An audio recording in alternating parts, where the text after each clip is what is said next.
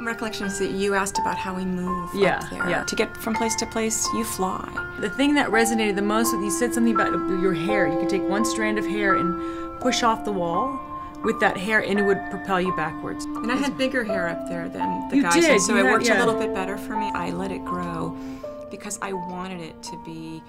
I wanted it to scream zero G. There Yeah. is a woman in space It for did. these girls.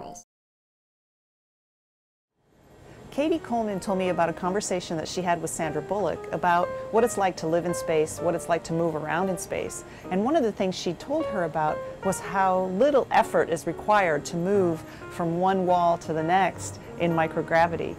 She even told her that you could take a human hair and use it stretched out to push against a, a wall or a handrail.